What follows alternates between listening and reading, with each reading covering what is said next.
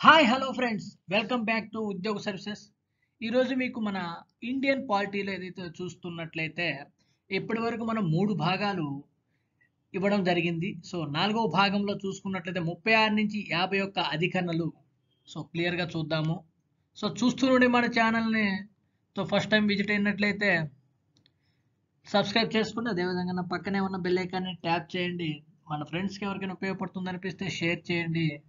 So ఏమైనా doubts అనిపిస్తే comment సెక్షన్లో కామెంట్ ఇవ్వండి. సో ఈ యొక్క నాలుగవ భాగంలో ఆదేశిక సూత్రాలు. సో చూద్దాం ఇందులో. పార్ట్ వన్ అంటే లెంగ్త్ వీడియో లెంగ్త్ ఎక్కువ ఉండడం వల్ల పార్ట్స్ వైజ్ ఇస్తున్నాను. ఓకే నెక్స్ట్ చూద్దాము.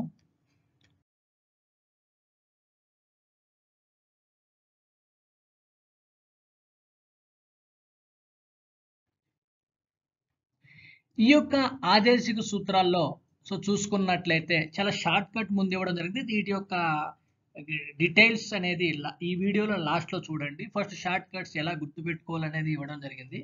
సో మనం రాజ్యాంగంలో నాలుగవ భాగంలో ముప్పై ఆరు నుంచి యాభై ఒకటి అధికరణలు అనేది ఈ యొక్క ఆదేశిక సూత్రాలను వివరిస్తాయి. వీటినే నిర్దేశిక నియమాలని కూడా అంటారు. ఆదేశిక సూత్రాలను నిర్దేశక నియమాలు అంటారు. వీటిని ఐర్లాండ్ రాజ్యాంగం నుండి గ్రహించడం జరిగింది. నెక్స్ట్ చూసుకున్నట్లయితే ఆదేశిక సూత్రాలను న్యాయ సంరక్షణ లేని హక్కులు అని కూడా అంటారు. సో ఆదేశిక సూత్రాలకు న్యాయ సంరక్షణ లేదు. ఇవి స్వయంగా అమల్లోకి రావన్నమాట. వీటి అమలుకు న్యాయస్థానాల ద్వారా ఆదేశాలను పొందలేదు.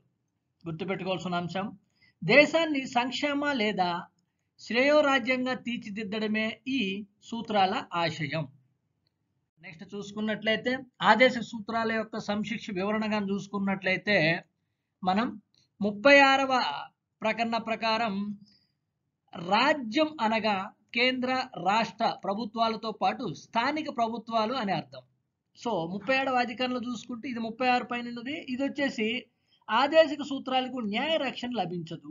సో వీటి యొక్క డీటెయిల్గా నెక్స్ట్ ఈ వీడియోలో చూద్దాం లాస్ట్లో. నెక్స్ట్ చూసుకున్నట్లయితే ముప్పై ఎనిమిదో ప్రకరణ ప్రజా సంక్షేమానికి అనుగుణమైన సామాజిక వ్యవస్థ ఉండాలి. ప్రభుత్వాలు సాంఘిక రాజకీయ న్యాయాన్ని దృష్టిలో పెట్టుకొని ప్రజా సంక్షేమానికి కృషి చేయాలి. సో ముప్పై ఎనిమిదో అధికారం చెప్పడం జరిగింది. నెక్స్ట్ ముప్పై తొమ్మిదో అధికారం ఏమంటుందంటే ప్రభుత్వం అనుసరించవలసిన ఆదేశ సూత్రాల గురించి వివరిస్తుంది. సో ముప్పై తొమ్మిది ఏ ప్రకటన ప్రకారం చూసుకున్నట్టే పేదలకు ఉచిత న్యాయ సహాయం అందించడం. ఈ ప్రకరణ జరిగింది. నలభైవ ప్రకరణలో పంచాయతీ రాజు సంస్థలను నిర్వహించి అవి స్వయం పాలన సంస్థలుగా ఏర్పరచడానికి తగిన ఆధారాలు ఇవ్వాలి. నెక్స్ట్ నలభై ఒకటో అధికరణ ప్రకరణ చూసుకుంటే నిరుద్యోగులకు వృద్ధులకు వికలాంగులకు జీవన భృతిని కల్పించాలి. అదేవిధంగా ఉపాధిని చూపించాలి. విద్యా హక్కును వినియోగించుకునేటట్లు చర్యలు తీసుకోవాలి. నెక్స్ట్ చూసుకున్నట్లయితే నలభై రెండవ ప్రకరణ ప్రకారం ప్రణాళికలను రూపొందించి హేతుబద్ధమైన పని గంటలను పనిచేయడానికి అనుకూలమైన వాతావరణాన్ని సృష్టించేందుకు తోడ్పడాలి. అదేవిధంగా స్త్రీలకు ప్రసూతి సౌకర్యం కల్పించాలి. నలభై మూడో ప్రకటనల ప్రకారం కార్మికుల సంపూర్ణ మానసిక శారీరక వికాసానికి శ్రద్ధ వహించాలి. అదేవిధంగా కుటీర పరిశ్రమలను స్థాపించి కార్మికులకు ఉపాధి లభించేటట్టు శ్రద్ధ వహించాలి. నెక్స్ట్ చూసుకున్నట్లయితే మనం నలభై మూడు ఏ పరంగా చూసుకున్నట్లయితే ఫ్యాక్టరీలు పరిశ్రమల నిర్వహణలో కార్మికులకు భాగస్వామ్యం అనేది కల్పించాలి. నలభై నాలుగవ ప్రకరణ ప్రకారం చూసుకున్నట్లయితే దేశంలో నివసించే పౌరులందరికీ వర్తించే విధంగా ఉమ్మడి పౌరస్థృతిని రూపొందించాలి. అదేవిధంగా చూసుకున్నట్లయితే నలభై ఐదవ ప్రకరణ ప్రకారం ఆరు సంవత్సరాల లోపు పిల్లలందరికీ సంరక్షణ ఉచిత విద్య సదుపాయాలను కల్పించాలి. నలభై ఆరో ప్రకరణ చూసుకున్నట్లయితే బలహీన వర్గాల ప్రజల విద్య సామాజిక అభివృద్ధికి శ్రద్ధ వహించాలి. అదేవిధంగా సాంఘిక అన్యాయాలు దోపిడీల నుంచి రక్షించబడాలి. నెక్స్ట్ చూసుకున్నట్లయితే నలభై ఏడవ ప్రకరణ ప్రకారం సో మత్తు పానీయాలు మరియు మాదక ద్రవ్యాల నిషేధానికి చర్యలు తీసుకోవాలి ఈ నలభై ఏడవ ప్రకారం. చూసుకున్నట్లయితే నెక్స్ట్ చూసుకున్నట్లయితే నలభై ఎనిమిదవ ప్రకరణ ప్రకారం చూసుకుంటే వ్యవసాయం పశుపోషణ ఆధునిక శాస్త్రీ శాస్త్రీయ పద్ధతిలో నిర్వహించి పశువులు గోవులు ఇతర పెంపుడు జంతువుల వదను నిషేధించాలి. అదేవిధంగా చూసుకున్నట్లయితే పర్యావరణం పరిరక్షణకు అడవులు అడవి జంతువులను సంరక్షించాలి. నెక్స్ట్ చూసుకుంటే నలభై తొమ్మిదో ప్రకారం చారిత్రక కట్టడాలు ప్రదేశాలను సంరక్షించాలి. నెక్స్ట్ చూసుకున్నట్లయితే యాభైవ అధికరణ న్యాయశాఖ నే- కార్యనిర్వాహక శాఖ నుండి వేరు చేయాలి. యాభై ఒకటో అధికరణ చూసుకున్నట్లయితే అంతర్జాతీయ శాంతి భద్రతలను పెంపొందించాలి. ఆదేశ సూత్రాలను ఎంపీ శర్మ జిఎన్ జోషి వంటి వారు మూడు రకాలుగా వర్గీకరించారు. మనం చూసుకుంటే సామ్యవాద నియమాలు చూసుకుంటే వీటిని తెలిపే నిబంధనలు ఏమేమి వచ్చినాయంటే ముప్పై ఎనిమిది ముప్పై తొమ్మిది ముప్పై తొమ్మిది ఏ నలభై నలభై ఒకటి నలభై రెండు నలభై మూడు నలభై మూడు ఏ అధికారులు అనమాట ఇది ఇంపార్టెంట్ సామ్యవాద నియమాలు ఏంటి నెక్స్ట్ గాంధేయవాద నియమాలు వచ్చి తెలిపేది నలభై నలభై మూడు నలభై ఆరు నలభై ఏడు నలభై ఎనిమిది ఏ అండ్ నలభై తొమ్మిది అధికరణలు. ఉదారవాద నియమాలు వచ్చేసి వీటిని తెలిపే నిబంధనలు వచ్చేసి నలభై నాలుగు నలభై ఐదు యాభై అదేవిధంగా యాభై ఒకటి. సో మనం ఇవన్నీ ఏంటంటే మనకు షార్ట్ కట్లో చూసాము. కొంచెం డీటెయిల్స్గా మొత్తం చూద్దాము. ఆదేశిక సూత్రాల్లో కొద్ది క్లియర్గా చూద్దాము. భారతదేశానికి సామాజిక ఆర్థిక విప్లవం తప్పనిసరిగా కావాలి. అదేవిధంగా సామాన్య మానవుడి ప్రాథమిక అవసరాలను తీరుస్తూ సహజమైన సంతృప్తిని అందించడం కోసమే కాకుండా అంతకంటే లోతుగా జాతి భారతీయ సా- సామాజిక వ్యవస్థలో మౌలికమైన మార్పును తీసుకొచ్చే విధంగా దాన్ని రూపుదిద్దాలి అని చెప్పి మనకు సరేపల్లి రాధాకృష్ణన్ గారు చెప్పడం జరిగింది. నెక్స్ట్ చూసుకుంటే రాజ్యాంగంలో ఆదేశిక సూత్రాలు అనేది సర్తేజ్ బహదూర్ సప్రు నేతృత్వంలో పంతొమ్మిది వందల నలభై ఐదులో చేసిన తీర్మానం అనుసరించి ఐర్లాండ్ రాజ్యాంగం ఆధారంగా ఆదేశ సూత్రాలను పొందుపరిచారు. నిర్దేశక నియమాలకు న్యాయ సంరక్షణ లేనప్పటికీ దేశ ప్రజాస్వామ్య ప్రభుత్వాలు ప్రజలకు జవాబుదారీగా ఉండాల్సి ఉన్నందున వీటిని విస్మరించడానికి అవకాశం లేదని డాక్టర్ బిఆర్ అంబేద్కర్ వివరించారు. నెక్స్ట్ చూసుకున్నట్లయితే మన రాజ్యాంగం ప్రధానంగా ఒక సామాజిక పత్రం నుంచి అని గ్రాస్ విలే ఆస్టిన్ వర్ణించాడు. అందువల్ల ఈ నిర్దేశక నియమాలను దేశంలో సామాజిక మార్పు అంటే సాంఘిక విప్లవాన్ని సాధించడానికి ఉద్దేశించినవిగా వర్ణిస్తారు. రాజ్యాంగ ప్రవేశికలో దేశ ప్రజలందరికీ సామాజిక ఆర్థిక రాజకీయ న్యాయాన్ని అందించే వ్యవస్థ ఏర్పాటుకు కృషి చేయాలని పేర్కొంటూ పేర్కొన్నారు.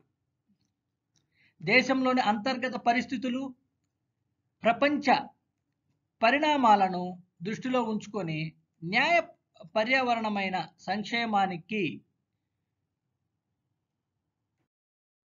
కూడా కృషి చేయాల్సిన బాధ్యత ప్రభుత్వాలపై ఉందని రాజ్యాంగ నిర్మాతలు పేర్కొన్నారు. ఆదేశక సూత్రాలను ఐర్లాండ్ నుండి గ్రహించారు. ఐర్లాండ్ వీటిని స్పెయిన్ నుండి గ్రహించినది. ఆదేశక సూత్రాలను పొందుపరిచిన మొదటి రాజ్యాంగం స్పెయిన్ అన్నమాట.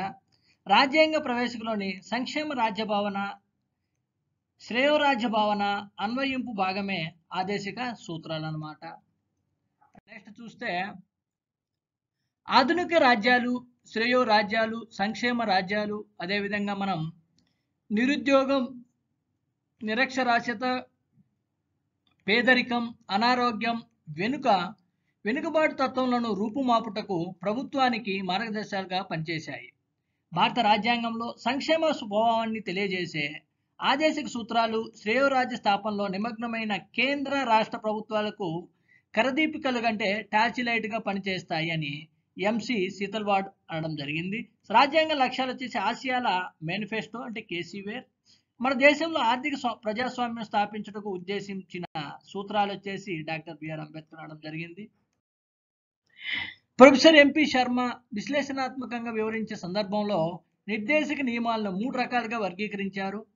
ఎంపీ శర్మ యొక్క వర్గీకరణ శాస్త్రీయంగా ఉండడం వలన దేశంలోని రాజనీతి విశ్లేషకులు న్యాయ నిపుణులు రాజ్యాంగ విశ్లేషకులు కూడా ఈ వర్గీకరణ సమర్థించడం జరిగింది.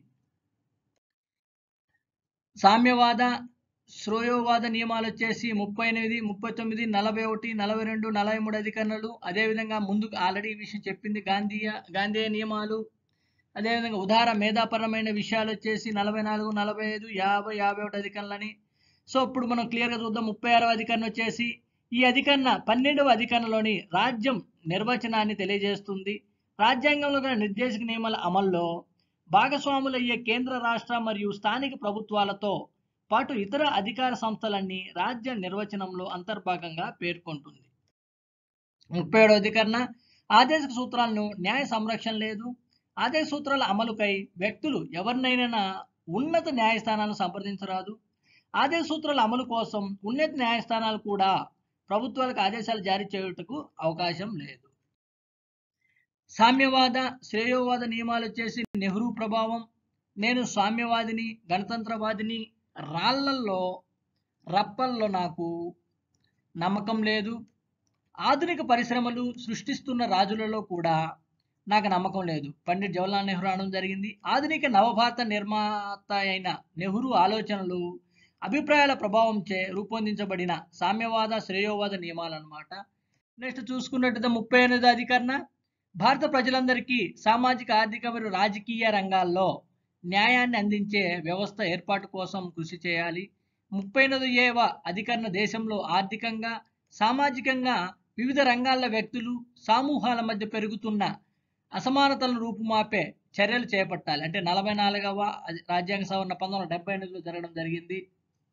నెక్స్ట్ చూస్తే ఆదేశిక సూత్రాలు. సో మన పార్ట్ అనేది సో ఇస్తాను. సో ఈ వీడియో మీకు నచ్చింది అనుకుంటున్నాను నచ్చినట్లయితే లైక్ చేయండి అదేవిధంగా మన ఫ్రెండ్స్కి ఉపయోగపడుతుందని షేర్ చేయండి. మన ఛానల్ ఫస్ట్ టైం విజిట్ అయినట్టయితే సబ్స్క్రైబ్ చేసుకోండి. Okay thank you.